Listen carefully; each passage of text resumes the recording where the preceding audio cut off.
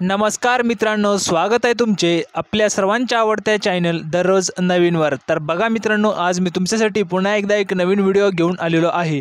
आणि आजच्या व्हिडिओमध्ये आपण एक महत्त्वाची माहिती पाहणार आहोत. ती म्हणजे मित्रांनो अशी बघा पोलीस भरती दोन हजार वीस संबंधित बारा हजार पाचशे अठ्ठावीस जागांसाठीच्या कामाला सुरुवात झालेली आहे.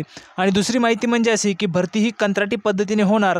दोन प्रकारचे या ठिकाणी जी आर मित्रांनो प्रसिद्ध झालेले आहेत. आणि या जी आरमुळे मित्रांनो खूप महत्त्वाचे कन्फ्युजन या विद्यार्थ्यांच्या मनात निर्माण झालेलं आहे. तर सर्वच्या सर्व तुमच्या प्रश्नांची उत्तरं आजच्या व्हिडिओमध्ये मिळून जातील अशी मी अपेक्षा करतो. त्या अगोदर तुम्हाला महत्त्वाची सूचना अशी आहे मित्रांनो जर तुम्ही व्हिडिओवर नवीन असाल तर व्हिडिओला आत्ताच लाईक करून द्या कारण तुम्हाला नंतर वेळ मिळणार नाही. आणि जर तुम्ही अजूनही आपल्या चॅनलला सबस्क्राईब केलं नसेल तर लवकरात लवकर आपल्या चॅनलला सबस्क्राईब करून बाजूला जी बेल ऐकन येते तिच्यावर क्लिक करून आपल्या येणाऱ्या व्हिडिओची नोटिफिकेशन मित्रांनो तुम्हाला तुमच्या मोबाईलवर मिळत राहील फ्रीमध्ये तर बघा मित्रांनो तुम्हाला या ठिकाणी पाहायला मिळालं असेल बारा हजार पाचशे अठ्ठावीस जागांसाठीची कामाला सुरुवात झालेली आहे. तर त्यासंबंधितही मी तुम्हाला यामध्ये महत्त्वाची माहिती सांगणार आहे. आणि दुसरं म्हणजे भरती कंत्राटी पद्धतीने होणार. हा महत्त्वाचा मित्रांनो या ठिकाणी तुम्हाला ऐकून धक्काच बसला असेल की भरती ही कंत्राटी पद्धतीने कशा प्रकारे होणार आहे. तर बघा या ठिकाणी दोन प्रकारचे जे आर हे प्रसिद्ध झालेले आहेत. संपूर्ण माहिती तुम्हाला आजच्या व्हिडिओमध्ये मी सांगणार आहे. तर बघा मी तुम्हाला प प्रथमतः या ठिकाणी जो पहिला जी आर आहे पोलीस भरती संबंधित तर त्या जी आरवर घेऊन जातो आणि त्यामधील सविस्तर माहिती मी तुम्हाला समजून सांगतो. त्यानंतर आपण दुसऱ्या जी आरवर सुद्धा जाणार आहोत. तर बघा आपण आता पहिल्या जी आरवर जाऊया. तर बघा मित्रांनो आपण त्या जी आरवर आलेलो आहोत. तुम्हाला या ठिकाणी पाहायला मिळेल महाराष्ट्र शासनाचा गृह विभागाचा हा जी आर आहे. आणि कालच्याच डेटला हा जी आर प्रसिद्ध झालेला आहे. तुम्हाला या ठिकाणी दिनांकसुद्धा पाहायला मिळेल. तीस सप्टेंबर दोन हजार वीस रोजीचा हा जी आर आहे. बघा यामध्ये काय सांगण्यात आलेलं आहे. तर बघा मित्रांनो मीरा भाईंदर वसई विरार पोलीस आयुक्तालयाचे कामकाज सुरू करण्याबाबतचा हा महत्त्वाचा जी आर कालच्या डेटला प्रसिद्ध झालेला आहे. आणि यामध्ये काय सांगण्यात आलेलं आहे बघा दोन संदर्भसुद्धा तुम्हाला या ठिकाणी देण्यात आलेला आहे तुम्ही वाचू शकणार आहात. त्यानंतर बघा पुढचा आहे आपल्याला या ठिकाणी शासन निर्णयामध्ये काय सांगण्यात आलेलं आहे. तर पोलीस अधीक्षक ठाणे ग्रामीण व पोलीस अधीक्षक पालघर यांच्या कार्यक्षेत्राचे विभाजन करून मीरा भाईंदर वसई विरार परिसराकरिता निर्माण करण्यात आलेल्या मीरा भाईंदर वसई विरार पोलीस आयुक्तालयाचे कामकाज दिनांक एक दहा दोन हजार वीसपासून प्रत्यक्ष सुरू करण्यास मान्यता देण्यात येत आहे. म्हणजेच मित्रांनो एक ऑक्टोबर म्हणजेच आजपासून या आयुक्तालयाच्या कामकाजास सुरुवात झालेली आहे. प्रत्यक्षपणे आजपासून या का कामकाजास सुरुवात झालेली आहे.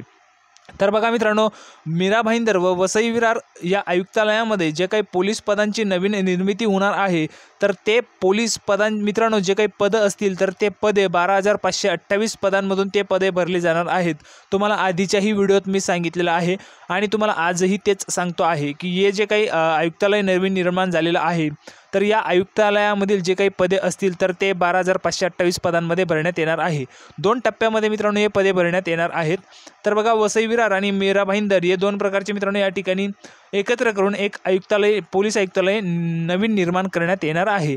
त्यानंतर बघा मित्रांनो आता तुमचा दुसरा प्रश्न होता की भरती कंत्राटी पद्धतीने होणार.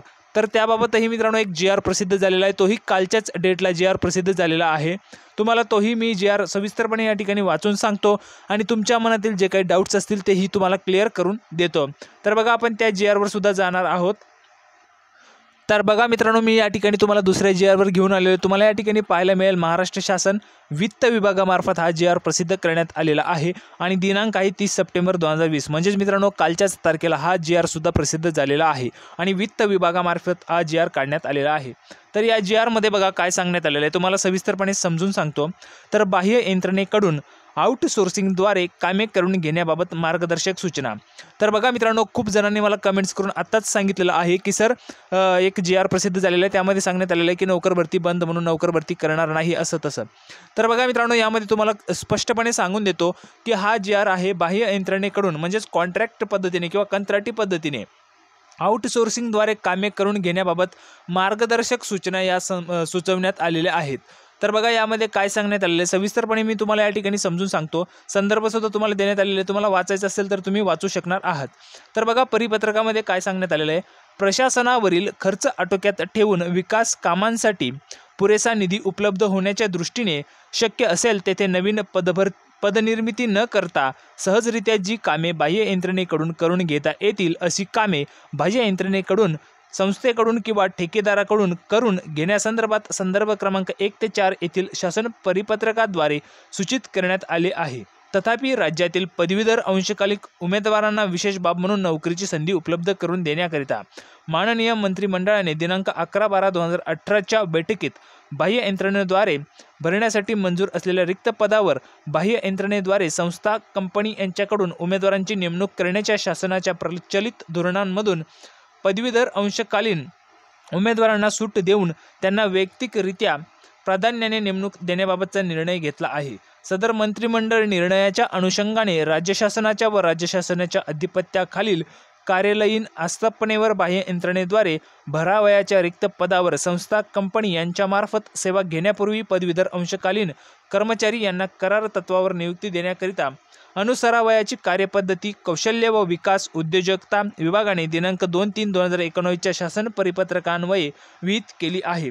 तसेच पदवीधर अंशकालीन उमेदवारांना प्राध प्राथम्याने नियुक्ती देण्याच्या सूचना दिल्या आहेत. तथापि विविध विभागांकडून बाह्य यंत्रणेद्वारे संस्था कंपनी सेवा घेताना सदर सूचनेनुसार पदवीधर अंशकालीन उमेदवारांना प्राधान्याने नियुक्ती न देता अन्य कंपनी एजन्सीबाबत सूचना दिल्या जातात व त्यांच्याकडून कर्मचारी घेतले जातात असे निदर्शनास आले आहे. यास्तव शासकीय विभाग व इतर शासकीय कार्यालयांना पुढील प्रमाणे सूचित करण्यात येत आहे.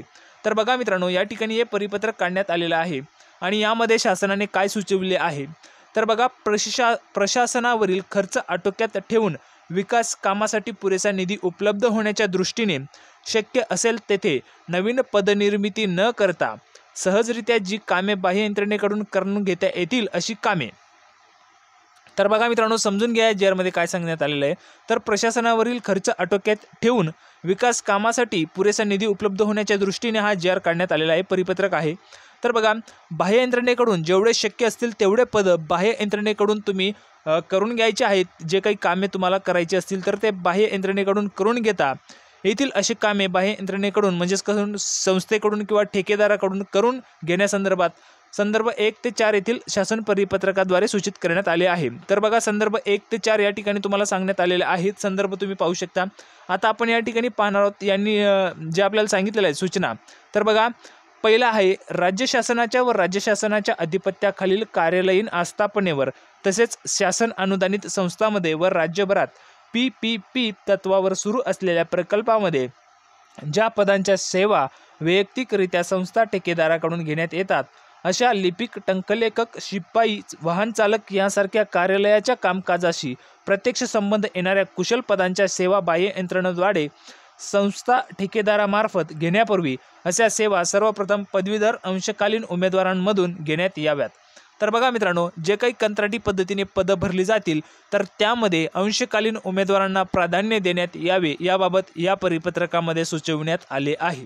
तर बघा खूप विद्यार्थ्यांना यामध्ये प्रश्न निर्माण झाले होते की सर यामध्ये कंत्राटी पद्धतीने भरली जातील का तर सगळी पदं? तर मित्रांनो तसं नाही आहे जे पदं शक्य असतील ते पदं त्यांनी सांगितले आहेत की कंत्राटी पद्धतीने भरावेत म्हणजे जेणेकरून जे काही प्रशासनावरील खर्च आहे तो आटोक्यात येईल. तर बघा जे काही कंत्राटी पद्धतीने भरती होणार आहे आणि त्यामध्ये अंशकालीन पदवीधारक पदविकाधारक यांना या ठिकाणी प्राधान्य देण्यात यावे असंही त्यांनी सुचविले आहे. त्यानंतर बघा या ठिकाणी काय सांगण्यात आलेलं दुसरं? बाह्य यंत्रणेद्वारे सेवा घेताना पदवीधर अंशकालीन उमेदवारांच्या यादीमध्ये योग्य शैक्षणिक व व्यावसायिक अर्हताधारक उमेदवार उपलब्ध न झाल्यास तसे स्पष्ट नमूद करून अन्य बाह्य यंत्रणेकडून एजन्सी कंपनी सेवा घेण्यात याव्यात.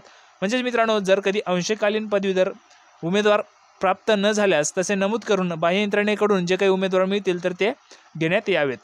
तर बघा मित्रांनो अशा प्रकारे महत्त्वाचं या ठिकाणी सांगण्यात आलेलं आहे. त्यानंतर तिसरा आहे बाह्य यंत्रणेकडून संस्थेकडून ठेकेदाराकडून पदवीधर अंशकालीन उमेदवारांकडून सेवा उपलब्ध करून घेण्यासंदर्भात संदर्भ क्रमांक एक ते चार येथील शासन परिपत्रकान्वये निर्मित करण्यात आलेल्या मार्गदर्शक सूचनाचे पालन करण्याची दक्षता घ्यावी.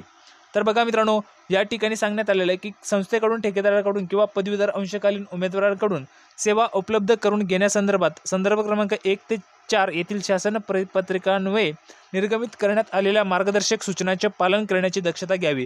तर जे काही मार्गदर्शक सूचना त्यांनी या ठिकाणी दिलेल्या आहेत त्याची दक्षता घेण्यात यावी असंही त्यांनी या ठिकाणी सुचवलेलं आहे. तर बघा मित्रांनो खूप जणांचे प्रश्न येत होते की सर या ठिकाणी जे आर आलेला आहे की कालच्याच डेटला? की नौकर भरती नाही व्हावी म्हणून नौकर भरती होणार नाही? किंवा मग सर्व पद हे कंत्राटी पद्धतीने भरली जातील? तर तुमचे जे काही प्रश्न आहेत ते क्लिअर झाले असतील असे मी सांगतो.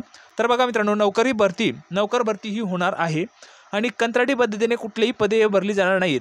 त्यांनी काय सांगितलं जे पदे शक्य असतील ते कंत्राटी पद्धतीने भरण्यात यावे आउटसोर्सिंग काढून. आणि त्यामध्ये अंशकालीन पदवीधर उमेदवारांना प्राधान्य देण्यात यावे असं त्यांनी यामध्ये सांगितलेलं आहे. कुठल्याही प्रकारचा गैरसमज तुम्ही करून घेऊ नका. तर बघा मित्रांनो अशा प्रकारे दोन या ठिकाणी जी आर कालच्याच डेटला प्रसिद्ध झालेला आहे.